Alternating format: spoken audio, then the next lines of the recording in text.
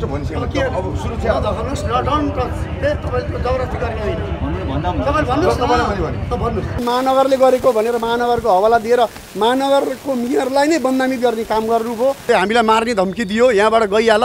मैले जग्गा किने तिमीहरूले यहाँ बस्न पाउँदैनौ। तिमीहरूको अब आजदेखि तिमीहरूको अधिकार नै छैन भन्दै यो तथाकथित शैलेन्द्र गुरागाई नाम गरेको व्यक्ति जो अहिलेको नयाँ धनी र उसको छोरा सिर्जेश गुरागाई। र धम्की दिने व्यक्ति चाहिँ नि शैलेश गुरागाई नै हो। मुख्य मुख्य मान्छे मुख्य मान्छेको यसमा चाहिँ मुख्य मान्छे त यिनीहरू गुन्डागर्दी शैलीमा आएको थियो। उहाँ नयाँ हो उहाँ गर्दनी भनेर हामीसँग उहाँले एग्रिमेन्ट गरेन भाडा तिर्ने हो। उहाँले एग्रिमेन्ट गर्न आउनु भएको छैन त हामीले कसलाई तिर्ने भाडा ल भन्नुहोस्। नौ महिनादेखि मुद्दा पऱ्यो हामी तिर्न तयार छौँ पैसा लिन आउनुहोस् भनिरहेछौँ भित्र आएर रक्सी खाएर बियर खाएर आएर त्यो गुन्डागर्दी शैलीमा फेरि त्यो अब गरेर त देखाइसक्नु भयो अब त विकल्प केही पनि छैन। अब उहाँले के सोच्नुहुन्छ? पीडितलाई न्याय दिने काममा उहाँ बालनजीले गर्नुहुनेछ र गर्नुपर्दछ भन्ने मैले सुझाव सल्लाह र अपेक्षा राख्दछु। उहाँले पक्कै पनि त्यो गर्नुहुनेछ भन्ने मलाई विश्वास छ। गतिविधि तिन दिनभित्रमा गलत निकालेर हजुरको तिन दिनभित्रमा यसरी अरूले बनाएको संरचना यो मैले बनाएको संरचना म आफै। मेरो आफ्नै कसिनाले कमाएर म आफैले यो ढुङ्गा उचालेर बनाएको हजुरको यो। सिसा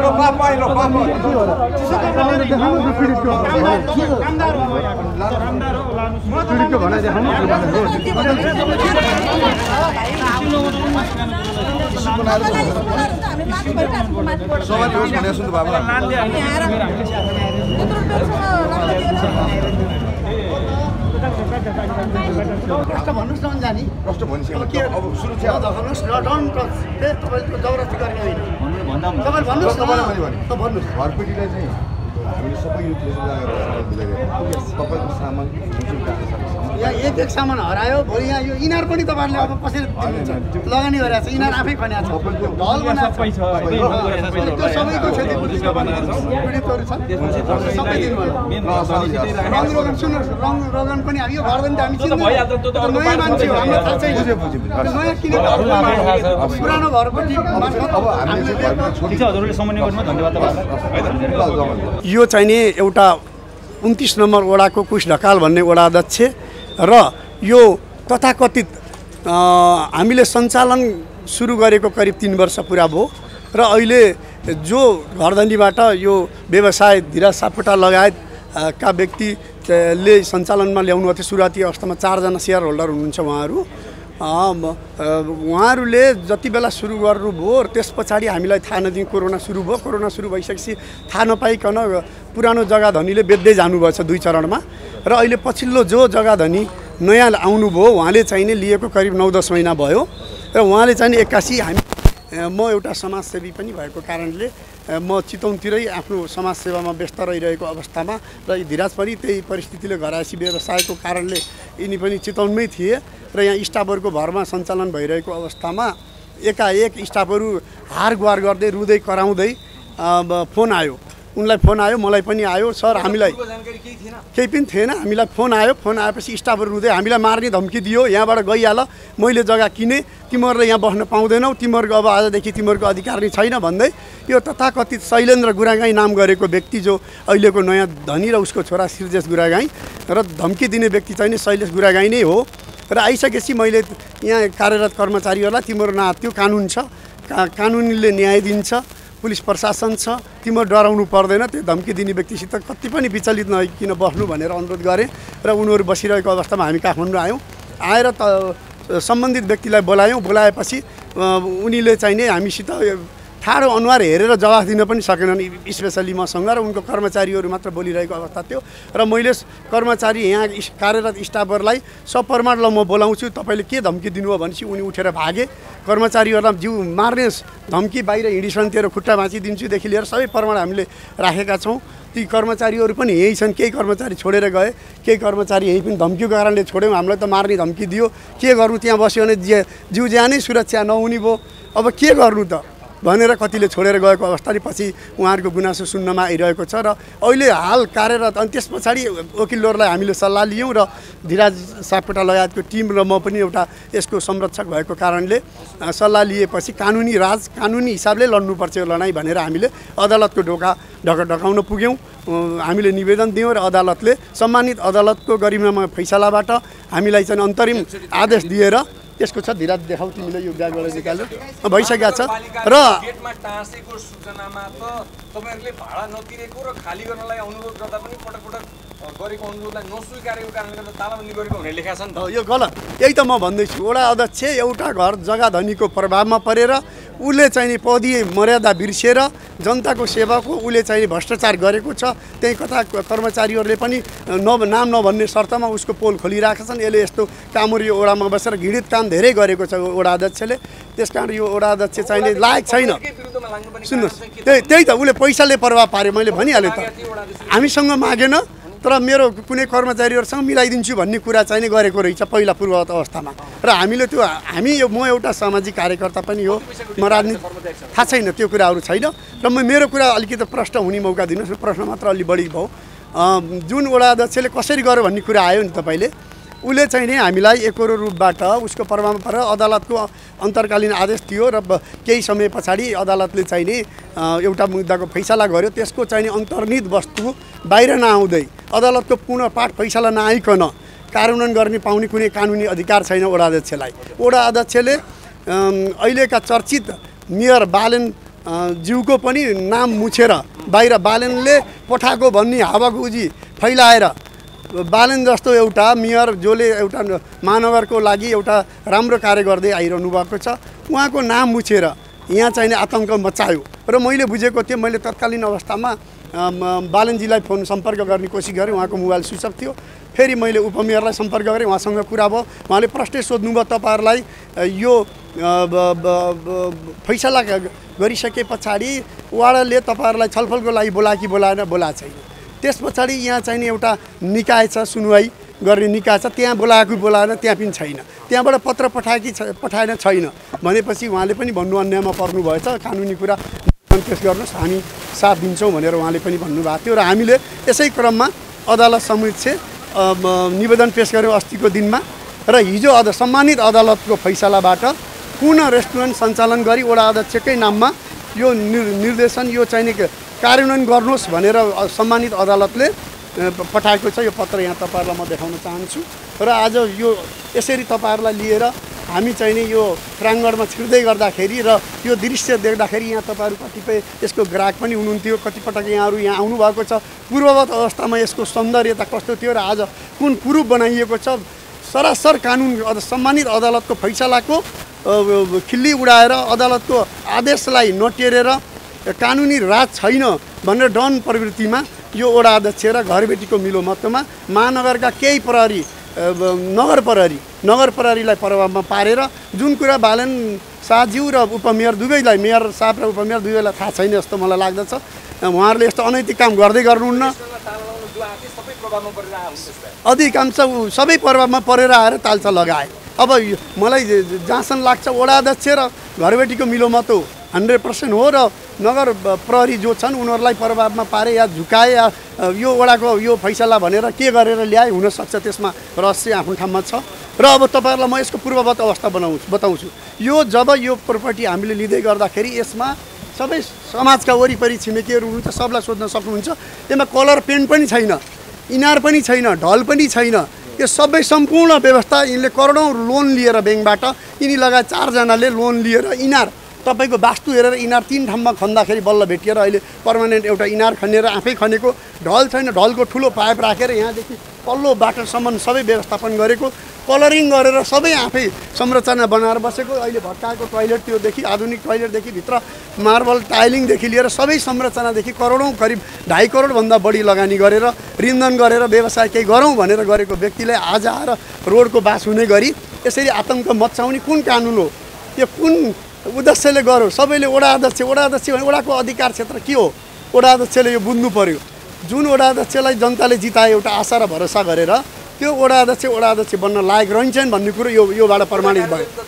यही त। प्रमाण छ तपाईँको? यस हामीले तिरेको प्रमाण हामीले आज मुद्दा परेको त बल्ल आठ नौ महिना भयो। हामीले ओडालाई राजस्व करिब तिन वर्ष जति बेला सञ्चालनमा रेस्टुरेन्ट आयो त्यति बेलादेखि नै ओडामा बकाइदा तपाईँहरू गएर रेकर्ड माग्नुहोस्। घर बाल कर हामीले तिन वर्ष अगाडिदेखि तिरिरहेका छौँ। मुद्दा त अहिले बल्ल आएर सात आठ महिनादेखि नै चलेको छ। बाल तिरिरहेछ बाल नयाँ तिर्नलाई नयाँ घरबेटी सभद्र तरिकाले आएर हामीसँग मैले लिएँ। यसो यसो भयो। अब तपाईँ हामी बिच बसेर एउटा कन्ट्र्याक्ट गरौँ या मेरो मजबुरी यो छ यो अनुसार एउटा शर्त गरौँ भन्ने वातावरण उहाँले बनाउनु भएन। यद्यपि हामीले स्वविवेक प्रयोग गरेर हामीले चाहिने न्यायोचित तरिकाले मैले तिनवटा निर्णय गरेको थिएँ। उनीहरू सबैको सल्लाह अनुसार तिनवटा निर्णय म यहाँलाई सुनाउँछु। पहिलो तपाईँ हामीलाई जानकारी नदिइकन गुन्डागर्दी शैलीमा तपाईँ प्रवेश गरेर मेरो स्टाफहरूलाई हाम्रो स्टाफहरूलाई धम्काउनु भयो। यो तपाईँले गलत गर्नुभयो। त्यसमा तपाईँ आउनुभयो तपाईँले एउटा जानकारी लिएर आउनुपर्छ। तपाईँले लिए मैले लिएर आउनु सर्वत्र तरिकाले हार यत्रो करोडौँ लगानी गरेको जो व्यक्तिले किनेको छ त्यो व्यक्तिलाई फेरि यहाँ इनारदेखि घर टोइलेट बाथरुम सबै यो बनाएको स्ट्रक्चर प्लास्टरधरि गरेको छ यसमा कैयौँ। करोडौँको लगानी गरेर यसरी बनाएको यो संरचना उहाँलाई थाहा छ। थाहा हुँदाहुँदै उहाँले गुन्डागर्दी शैलीमा यसलाई लखड्छु भनेर नै पाँच वर्षको कन्ट्र्याक्ट हुँदाहुँदै अझै बाँकी दुई वर्ष छ। बल्ल तिन वर्ष पुग्यो दुई वर्ष अझै बाँकी छ कन्ट्र्याक्ट कन्ट्र्याक्ट पिरियड नसकिँदै उहाँले जबरजस्ती आउनुभयो र मैले उहाँलाई शर्त के दिएँ भने ठिक छ पहिलो नम्बर व्यवसाय गर्न खोजेको कोरोना महामारीले विक्षिप्त अवस्थामा भए पनि पुनः हामी उहाँहरू सञ्चालन गर्नुहुन्छ अग्रिम ती तिन महिनाको भाडा दिनुहुन्छ नयाँ एग्रिमेन्ट गरेर तपाईँ अगाडि आउनुहोस्। पहिलो नम्बर वान। दोस्रो नम्बर वान यदि तपाईँलाई आवश्यकतै पऱ्यो तपाईँले भाडामा अब लगाउनुहुन्न अब उपरान्त भने समय दिनुहोस् र तपाईँले उचित लगानी भएको जो संरचना हामीले यहाँबाट उठाएर लान मिल्दैन जस्तै इनार उठाएर लानु मिल्छ।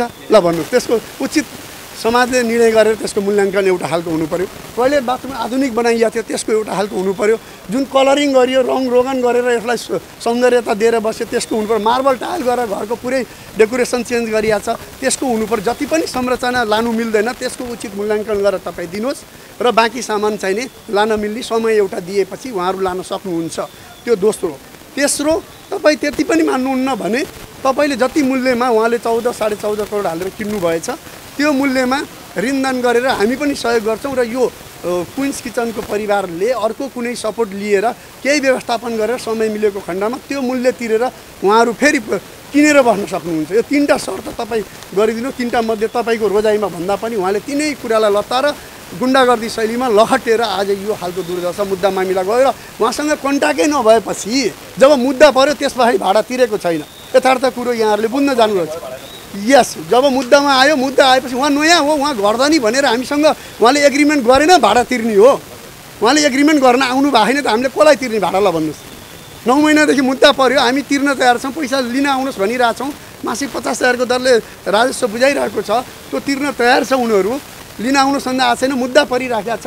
अनि उहाँले चाहिँ नि यो हल्ला फिजाएर तिर्न सकेन यसो गरौँ भनेर वडा अध्यक्षलाई प्रभावमा पारेर यो खालको गतिविधि गरेर आज यो विध्वंसकारी परिस्थिति निर्माण गरे। यो बदमास यस्ता बदमासलाई समाजले चिन्नुपर्छ र केही के अस्तिको पटक तिन दिन पहिला जब यो ताल चलाउने क्रममा वडा अध्यक्ष र नगर प्रहरी केही लिएर आयो।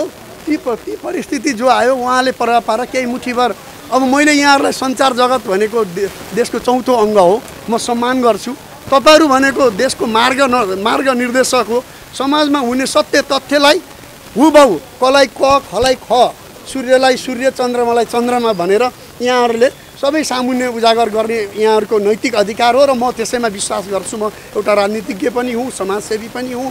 तसर्थ म तपाईँहरूप्रति त्यो आशा गर्दछु र केही तथाकथित उहाँहरूबाट परिचालित मिडियाहरूले के लेख्नु भएछ भने प्रधानमन्त्रीसँग जो सामान्य प्रधानमन्त्री मेयर साहबसँग जोडेर मुद्द जित हारको संज्ञा दिएर यो खालको बङ्गाएर उहाँहरूले युट्युबबाट आफ्नो भ्यूहरू बढाउने एउटा आफ्नो लोकप्रियता बढाउने खालको काम गर्नु यस्तो सस्तो लोकप्रियता खालको पत्रकारिता नगर्नु हुन पनि उहाँहरूलाई जसले गर्नुभयो उहाँहरूलाई म सुझाव दिन चाहन्छु।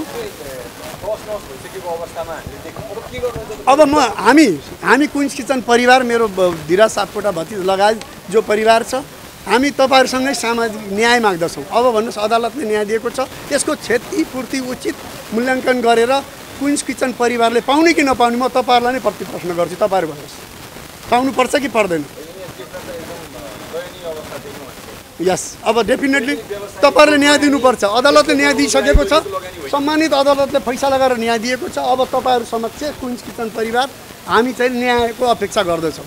त्यसको क्षतिपूर्ति उचित मूल्याङ्कन गरेर पाउनु पर्यो। र यस्ता बदमास समाजका धमिला किराहरूलाई सबैले चिन्नु पर्यो।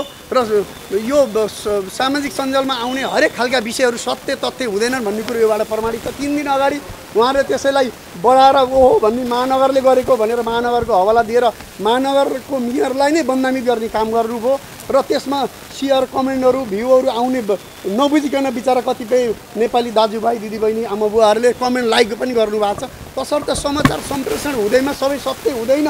भन्ने कुरो योबाट आज प्रष्ट प्रष्ट भइसक्यो। सम्मानित अदालतले न्याय दिइसकेको हुनाले अब आइँदा यस्ता तथाकथित विषयहरू मिडियामा आउँदै गर्दा पनि आम नागरिकले पनि सचेत भएर कमेन्टहरू गरिदिनु हुनको लागि विशेष अनुरोध गर्दछु। एकदमै व्यस्त हुनुहुन्छ। मैले बालनजीको पवित्र उद्देश्य बोकेर जो महानगरको मेयर बनेर भारी बहुमतले उहाँ चाहिँ मेयर बनेर आउनुभयो। उहाँलाई जनताले ठुलो आश गरेको छ भरोसा गरेको छ।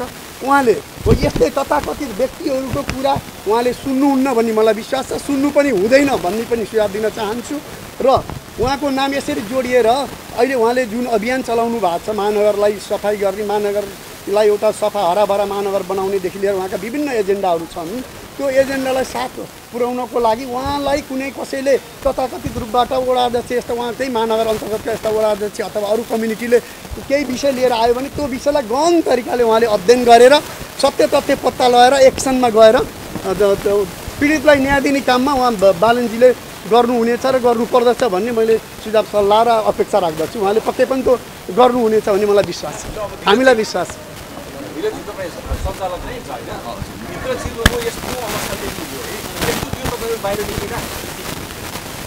बाहिर धन्यवाद होइन अब हजुरहरूलाई हुन त मेरो प्रस्तावको अङ्कल हुनुहुन्छ एउटा सदस्य पनि हुनुहुन्छ कुन्स किचनको म सञ्चालक छु अरू साथीहरू पनि हुनुहुन्छ त्यो अब एकदम अब अहिले हजुरहरूले भन्दा नि अब भने नि अब उहाँले पृथ्वीमा भनिसक्नु भयो। त्यही त्यही पनि एकचोटि थोरै जोड्न चाहेँ। अब कतिपय साथीहरू त अब आउनु भएको थियो हाम्रो कुनै पनि आएर बोल्नु उहाँलाई नि धेरै। कुरा उहाँलाई यो नाम केही देख्नुभयो अब यो त विगत यसलाई त यस्तो तनस बनाइदिनु भयो उहाँले। तँलाई रोडमा ल्याइदिन्छु भन्ने हिसाबले जानुभएको थियो। त्यही किसिमले सोचेर खास किन यसो गर्नुभयो। अब यो हजुर ल्याउनु खोज्नु भएको। उहाँले ल्याउनु ल्याउनु भयो। अब ल्याउने त्यसलाई चाहिँ अब कुन हिसाबले हजुरहरूले विचार गर्नुहुन्छ। फैसलालाई हजुरको अदालतको फैसलालाई चाहिँ तपाईँहरूले एउटा सम्प्रेषण गर्ने हिसाबले हिसाबले बुझिदिनुहुन्छ उहाँले कसरी बुझिदिनुहुन्छ यो गर्न न्यायिक हो कि होइन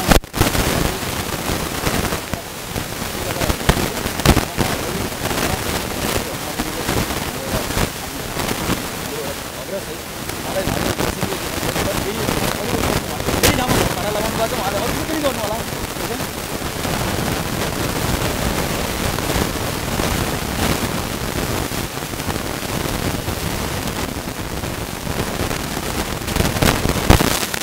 यसम्म चाहिँ गर्नुहुन्छ गर्नु होला ठिक छ समस्यामा आउनु होला बुझ्नु होला होइन तलमा त्यो कुराहरू गर्नु ठिक छ कुराले गर्दा मानव पऱ्यो त्यो कि धेरै भने बुझ्नु होला।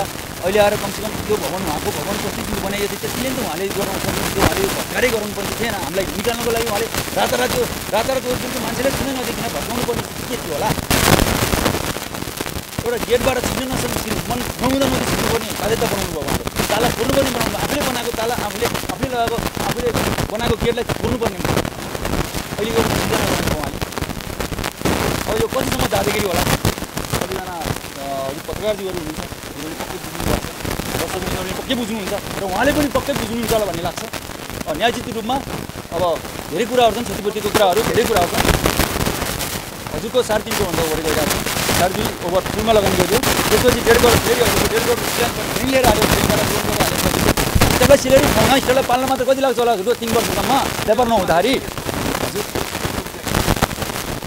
इन्सुरेन्समा हजुरको सबैतिर अ, मा अब के भन्छ सरकारी कार्यालयहरूमा सबैमा निकायमा उ गरेको छ हजुरको इन्सुरेन्स भनेर इन्सुरेन्सको म चाहिँ कहाँ लाग्छ त्यो मैले अरू कुरालाई सोध्नुपर्छ मैले चाहिँ म पनि बाहिर व्यस्त कारणले बाहिर हुनु भएको हुनाले जस्तो बाहिर हुन्छु स्टाफहरूले गर्दाखेरि अघि नै हुन्छ म स्टाफलाई आउने धम्काउने गर्ने कुरा भएपछि म अलिक थोरै समयमा त्यहाँ बस्नु भयो मलाई समेत मेरो कपडा धरी निकालि ननिकालिकन हजुरको बाहिर निकालिदिनु भयो स्टाफहरूलाई कपडा धोएको एउटा चिसो चप्पल पनि लाउनु दिनु भएन त्यो अवस्थामा निकालेर अहिले तुरुन्तै यो आउनु पर्ने त उहाँले कसरी के सोचेर गर्नुभयो अब उहाँलाई थोरै सुझाव दिन चाहन्छु ए हो अब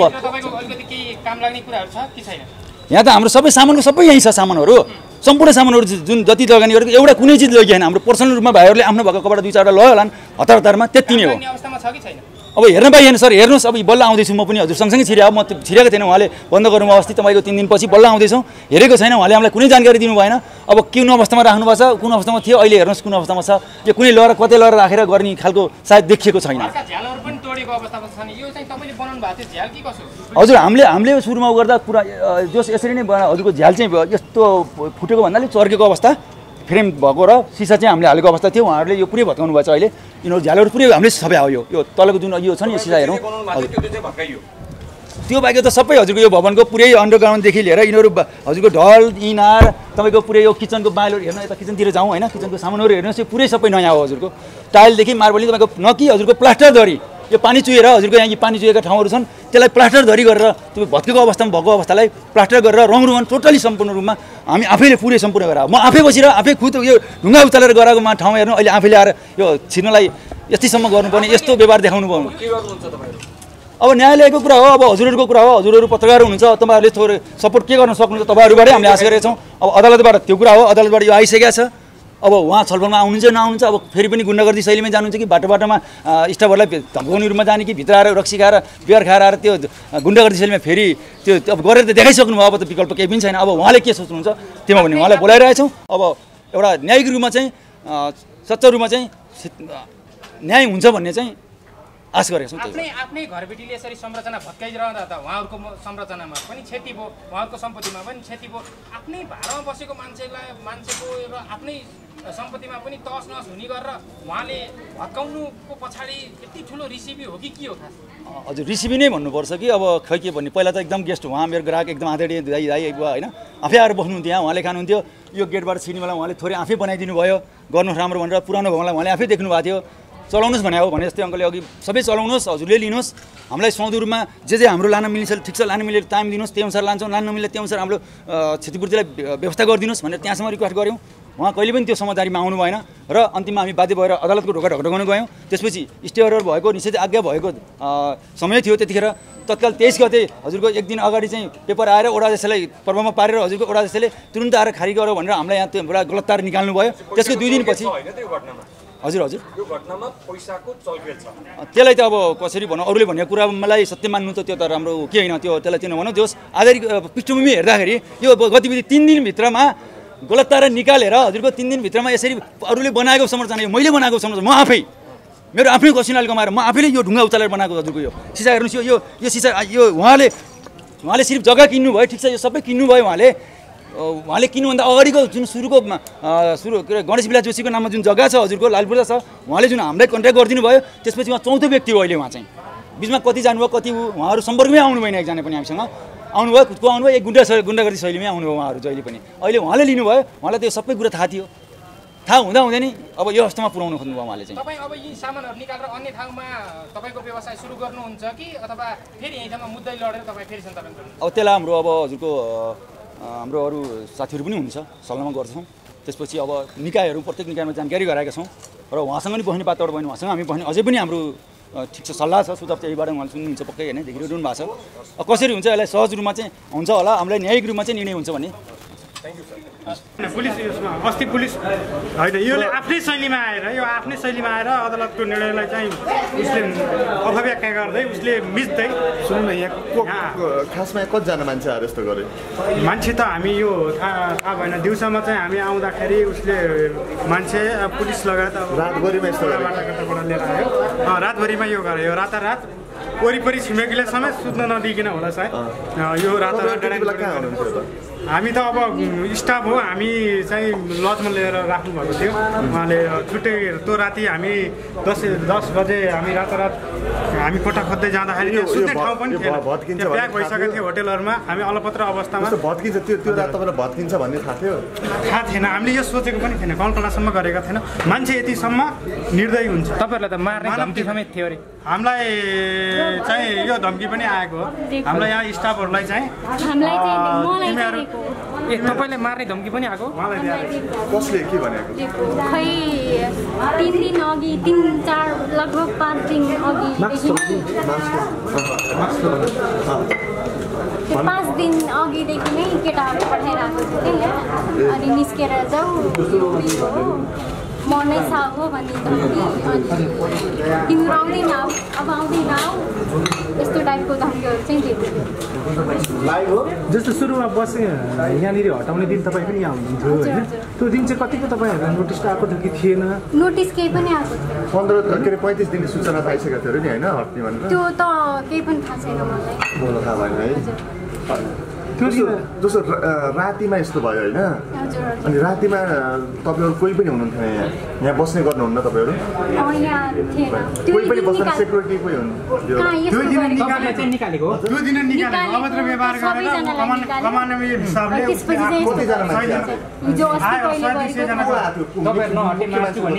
मुख्य मुख्य मान्छे? मुख्य यसमा चाहिँ मुख्य मान्छे त यिनीहरू गुन्डागर्दी शैलीमा आएको थियो महानगरको सर पनि आउनु भएको थियो वडाको सिफारिसबाट आउनु पैँतिस दिने सूचनालाई तपाईँहरूले मतलब गर्नु भएन।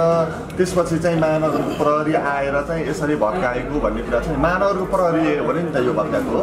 होइन उहाँहरूको संलग्न त छैन। यसमा बालेन्जीलाई महानगरलाई जोड्ने यसमा महानगरको प्रहरी उहाँको त होइन? महानगरको प्रहरीलाई उहाँले वडाको मान्छेलाई प्रभावमा पारेर अथवा वडाको मान्छेलाई प्रभावमा पारेर अदालतको फैसला नभइकन यहाँको वडाको मान्छेलाई उ गराएर उहाँ आउनुभएको अदालतको प्रक्रियामा उहाँ जानु भएन। अदालतमा काम प्रक्रिया हुँदै थियो।